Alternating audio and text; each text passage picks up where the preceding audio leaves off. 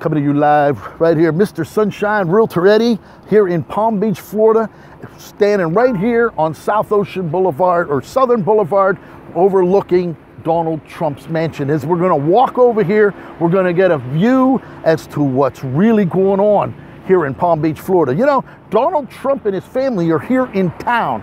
They're in here at their winter wonderland, the White House at 1100 South Ocean Boulevard. And you know what? We got the film crews all out here. We got everybody. Take a look at this. We got the NBC News here. We got Orbital Communications. We got everybody out here wanting to get a glimpse of the new president of the United States. And you know, as we continue our trek here, we're going to show you what's really going on here in Palm Beach, Florida. Things are always taking place here. You know, you got all, when you're talking Donald Trump, you're talking about the best. You're talking about the very best of what life has to offer. And when you're thinking about Donald Trump, there is no comparison. The president, the man, he's got the biggest house on the biggest side of town. He's got the longest limousines. He's got the big jet airplanes. He's got everything that what the American dream is all about. And he turned it into a reality.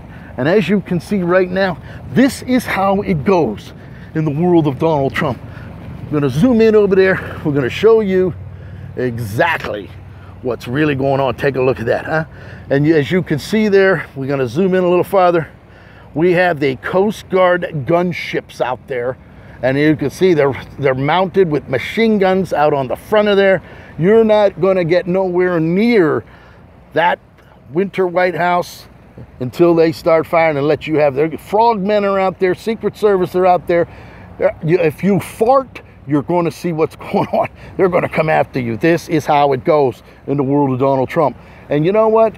As Donald Trump ran for president, they all thought it was a joke. They all thought he was laughing. Well, you know what? There's nobody laughing now. This is what's really happening in the world of the United States of America when it comes to Donald Trump. And you know what? Donald Trump's going to be spending a lot of time down here. He's not going to be wasting his time at 1600 Pennsylvania Avenue. He's going to be coming down here. He's going to be showing, he's going to be running operations right out of his headquarters right here in sunny South Florida. And you know what? If you're thinking about moving to sunny South Florida, come on down. Mr. Sunshine Realtor is going to take care of that for you. Pick up the phone, 561 693 8636, and start living the sunny South Florida lifestyle today.